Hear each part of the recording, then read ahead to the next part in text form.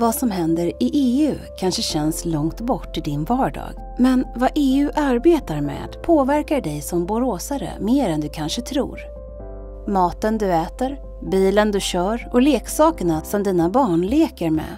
Allt det och mycket mer regleras av EU. Under 2018 införde EU till exempel en ny dataskyddsförordning, GDPR, för att skydda dina personuppgifter. EU arbetar även aktivt för klimatfrågor och har beslutat att införa en plaststrategi för att minska utsläppen i haven. Det handlar om att fasa ut produkter som sugrör, bestick och ballongpinnar av plast.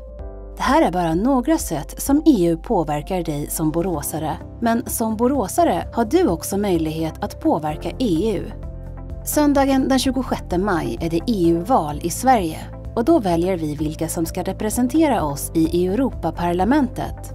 I dagsläget sitter det 751 ledamöter från EUs medlemsländer och val dit sker var femte år. Vill du kanske ha en ny miljölag, ett större fokus på säkerhet eller jordbruk? Genom att rösta i EU-valet kan du påverka framtida EU-beslut. I nästan allt i din vardag påverkas du på något sätt av beslut och regleringar från EU.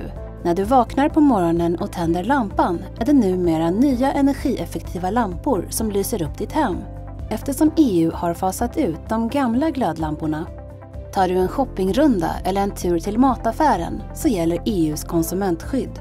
Det gäller också när du handlar på nätet.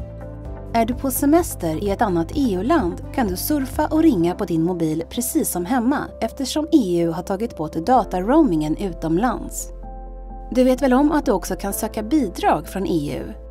Nästan 40 procent av EUs budget går till att utveckla jordbruk, fiske, miljö och landsbygd i EU-länderna. Men EU driver också projekt och stödprogram inom en mängd andra områden. Som exempel har Textilhögskolan och Högskolan i Borås sedan 2015 deltagit i EU-projektet Arkintex ETN, där doktorander på skolorna får forskningsmedel från EU. På Bodaskolan deltar man i ett EU-projekt som jobbar för inkludering av minoriteter och större framtidstro hos unga. I EU-valet den 26 maj har du din chans att påverka vilka områden EU ska prioritera i framtiden. Rösta får du göra om du är 18 år, EU-medborgare och folkbokförd i Sverige. Glöm inte att rätten att rösta är just en rättighet.